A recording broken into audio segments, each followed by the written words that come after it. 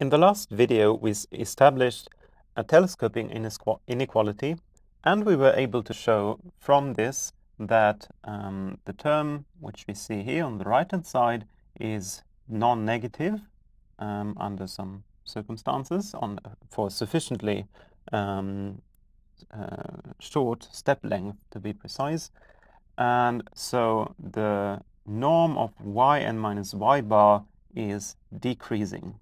And here we constructed yn by taking this to be the argument to the proximal point, and y bar would be like the desired limit value um, if x bar is uh, some minimizer of f plus g.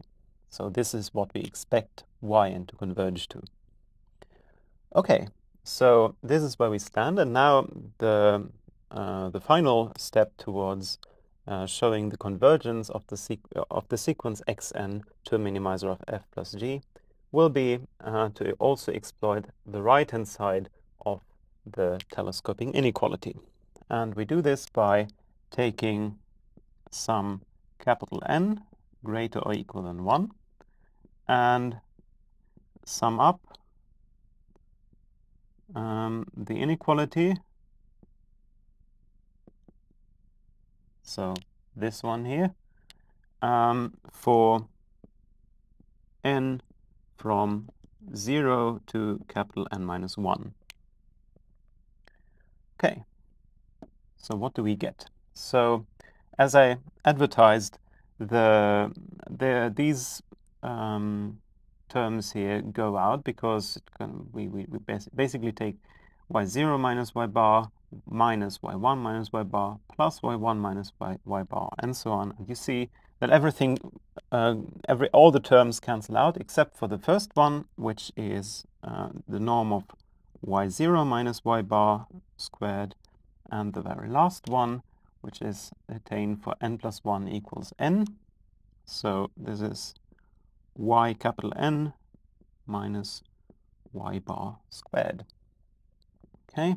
Now on the right hand side we have a lot of positive terms and we just sum up them. So sum from n equals 0 to capital N minus 1 norm of yn minus xn plus 1 plus gamma gradient of f at x bar squared plus 2 gamma sum um, f of x n plus 1 plus g of x n plus 1 minus f of x bar minus g of x bar minus 1 over 2l um, gradient of f of x n plus 1 minus gradient f of x bar squared. Reach the end, plus gamma 2 over L minus gamma sum from 0 to capital N minus 1 of gradient of f x n plus 1 minus gradient f x bar norm squared. And this holds um, for all capital N greater or equal than 1. Okay, so now we can um, continue this estimation to the left and we see that this term here is non, um, well the norm is non-negative so minus the norm uh, will be non-positive so this is less or equal than just the norm of y0 minus y bar squared. And now we see that this does not depend on on capital N depend on capital N. Okay, so this means that this upper bound for, for this sum here is independent of capital N. So this means that the whatever positive terms, all these terms here are, which we sum up are positive, we sum the, sum, the total sum will always be less or equal than uh, this uh, specific real number. And this means that um, the so um, so that the sums on the right hand side are bounded by the term on the left hand side. Okay, so this means that the sum, well, can start here, sum, so if we just take the limit of capital N to infinity, so we get the sum to infinity of this norm of yn minus xn plus 1 plus gamma gradient of f x bar squared. This is less than plus infinity. And whenever this coefficient here is um, strictly positive, so if it's zero, then we obviously, obviously the whole term is zero. So this is not of no use for us. But if if the if uh, gamma is strictly less than two over L, then this sum will be um, will be less than plus infinity as well. So um, we have sum from n, n from 0 to infinity, norm of gradient of f at x n plus 1 minus gradient of f at x bar is less than plus infinity if gamma is strictly less than 2 over L. So this is the last assumption we have to make. We have already made the assumption that uh, the inequality may be sa uh, satisfied with equality, but now we, we see why we, why we want to have the strict inequality, so gamma is strictly less than 2 over L. Okay, so this is important. Um, so this hap happens, and since gamma is strictly greater than 0, as we assumed, then we know that the sum of, um, of f of xn plus 1 plus gxn plus 1 minus f of x bar minus g of x bar minus 1 over 2l gradient of f at xn plus 1 minus gradient of f at x bar norm squared is also less than plus infinity. Okay, so now we have seen that all these terms are summable. What does this mean? Well, the summands converge to zero. Um, that's the classical result. So this uh, this allows us to conclude that. Um, so let's start here. Gradient of f x n plus 1 minus, yeah, minus gradient of f at x bar converges to 0, or as we can also write, this gradient here converges to gradient of f at x bar. Um, okay, then we have uh, no gradient this time, sorry.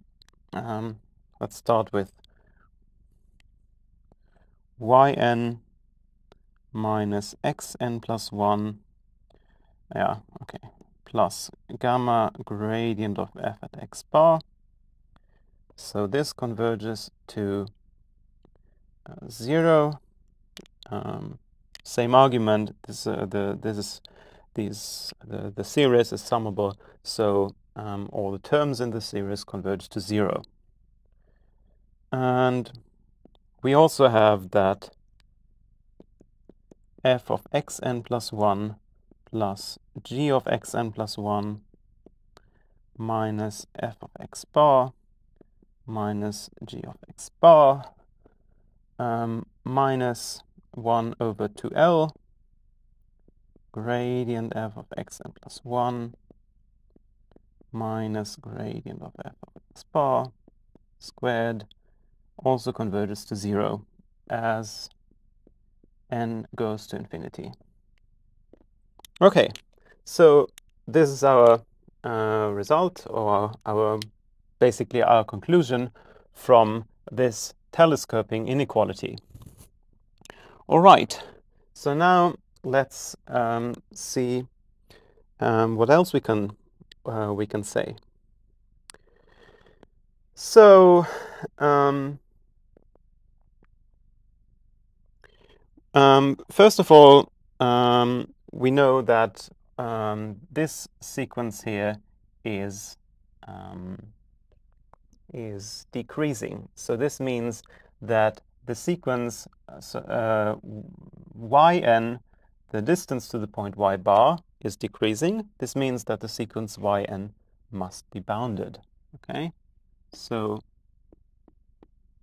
the sequence yn, well, that's an ugly yn, uh, better, is bounded. What does this mean?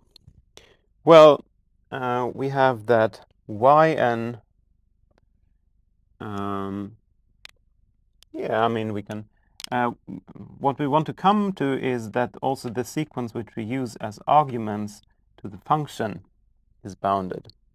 Um, this is the more interesting sequence here because this will eventually converge to um, some minimizer.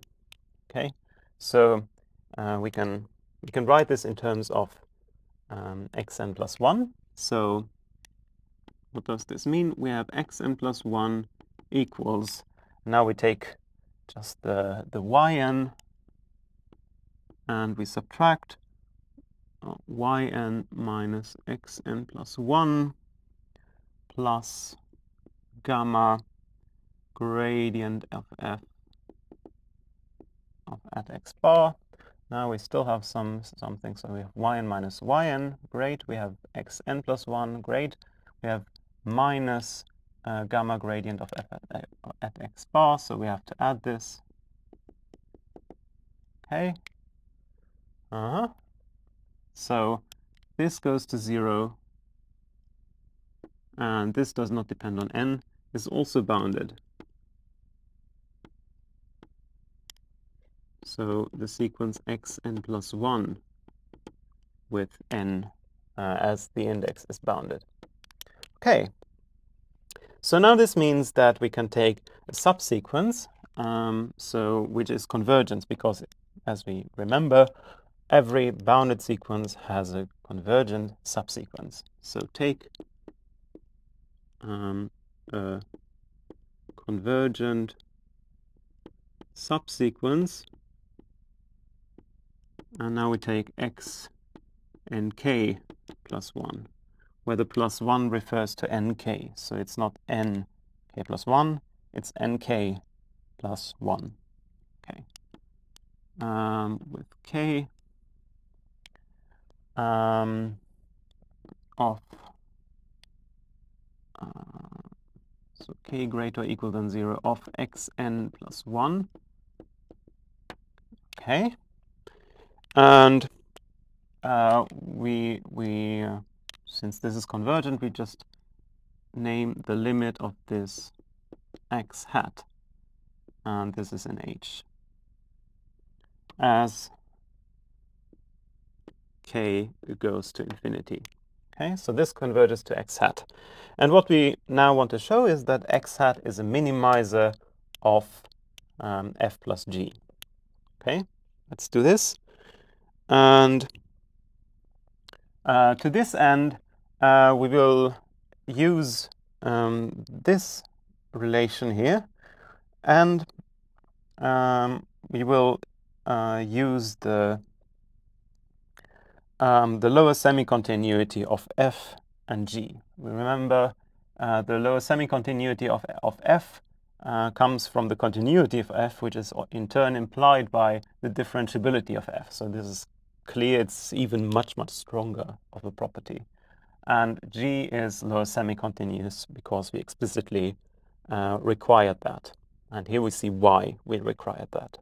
Okay, so then um, we want to calculate the function value of f plus g at x hat. Okay, So lower semi-continuity means that this is less or equal than the lim sup of f of x n k plus plus 1, okay, because eh, eh, x and k plus 1 converges to x bar, okay, and it's actually not the lim sup, it's the it's even the the lim inf, uh, okay, so lim inf.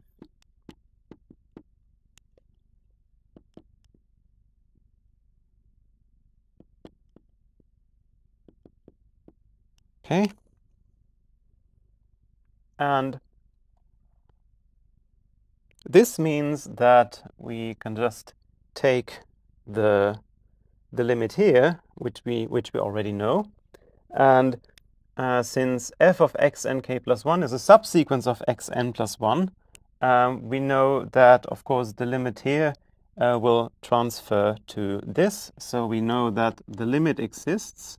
So limit uh, k to infinity. And now we can take, well, f of x n k plus 1 um, plus g x n k plus 1 minus f of x bar minus g of x bar minus 1 over 2l gradient of f at x nk plus 1. because we we still have to take the sub, or we still take the subsequence here, uh, minus gradient of f at x bar squared. Uh, we have to draw our borders here.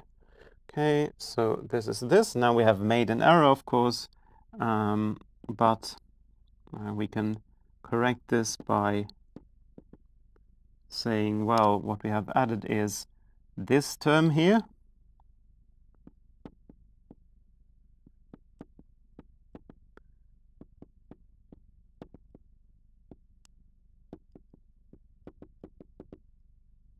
Okay, and what we have sub uh, what we have subtracted is this term, so we have to add it again, and we have to sub subtracted the f of x bar and g of x bar. Okay. And now we see that this is 0. So this here is 0, the limit, because that's exactly this statement. And we also know that this is 0 because that's the this statement here. Of course, this only holds if gamma is less than 2 over L. So, oops, sorry. So this is um, uh, what we what we have to require. So this is f x bar plus g of x bar. So we know we see that um, the the function value at the x hat is less or equal than the function value at the minimizer. So we see that x hat is a minimizer of f plus g. This is a great result. So now we can actually uh, go all the way back and use x hat here in place of x bar because we just assume that x hat uh, because that x bar is just some arbitrary minimizer. Now we have found some concrete minimizer here, namely x hat. Okay, so we can now just um, insert x hat instead of um, instead of uh, x bar. So let now y hat be um, x hat minus gamma gradient of f at x hat. Okay. Um, by the way, this this also means we have we have shown that for any minimizer, uh, the gradient of f at xn plus 1 converges to uh, the gradient of f at x bar. So for any minimizer, our sequence of gradients converges to the uh, gradient at the minimizer. So this means that gradient of f um, is, so the gradient of f is the same for all the minimizers because for all the minimizers our sequence converges against it because, yeah, we have shown that. So um, this shows that um, the, the gradient of f is constant on the set of minimizers of f plus g. Okay. Um, now, um, what we want to use is that we know that this sequence is decreasing, so there exists um, the limit of n to infinity, and now we can use yn minus y hat squared. And we, we want to show that this limit is uh, zero. Okay. Okay, let's let's see what we can do. So um, actually we, we only have a statement of convergence of x n k plus 1 to x hat. So x hat is a, is a limit defined as a limit of x, x and k plus 1. So obviously we have to somehow replace this yn here. Um, we can do this uh, with the help of this convergence relation. So this will be the limit of so yn minus xn plus 1 plus gamma gradient of f at x hat. Okay, this is this statement here. This is also, this is, as you remember, true whenever we have any minimizer x bar, and here we, we choose x hat. Okay. Great, so now we have made an error. So we, we have to add x n plus 1 because we, we just uh, invented this. And we had we have to subtract um, gamma gradient of f at x hat. Okay, so now we see that uh, this converges to zero um, of course, I forgot something. Sorry, I forgot minus x hat, uh, minus y hat. Okay. Uh, yep, but uh, now this is correct. So this goes to zero. Okay, so we have the limit of um, well x n plus one um, minus y hat, and I just substitute y hat as um, x hat. And since we have minus, we, we have to add plus gamma gradient of f, of f at x hat. And we have to subtract this term. Okay, so we get this. So this is just this term where we inserted the definition of y hat. Okay, now we are done basically. So this is the limit of x n plus 1 minus x hat. Okay, and it's the same limit as uh, the norm of yn minus y hat, by the way. Okay, so uh, we see that the limit is unchanged, and we know a priori of its existence, so that's good. If we go to a subsequence, so we set we, we take x and k plus 1. Okay, this has the same limit because taking a subsequence of, of, of the convergence sequence does not change the limit. Okay, and here we know since x and k um, goes by definition to x hat, uh, here, uh, we know that this is 0. Okay, and now the last uh, equality here uh, shows that